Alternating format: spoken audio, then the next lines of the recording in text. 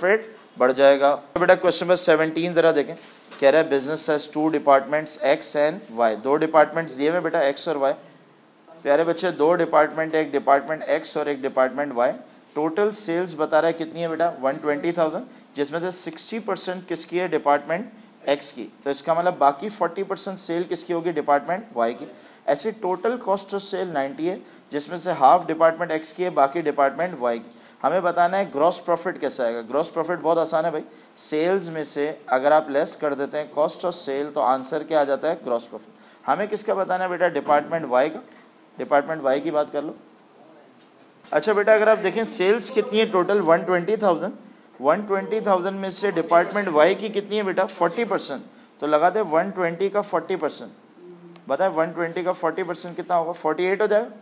Forty eight thousand ऐसी cost of sale कितनी है मेरे भाई? Ninety thousand. नाइन्टी थाउज़ेंड का आप लगा दें फिफ्टी परसेंट हाफ़ ये आ जाएगी फोर्टी फाइव थाउज़ेंड। नाइन्टी का हाफ़ फोर्टी फाइव थाउज़ेंड। बेटा सेल्स में से कॉस्ट ऑफ़ सेल माइनस कर दें आंसर क्या आ जाएगा? ग्रॉस प्रॉफिट ग्रॉस प्रॉफिट कितना आ गया बेटा? Three thousand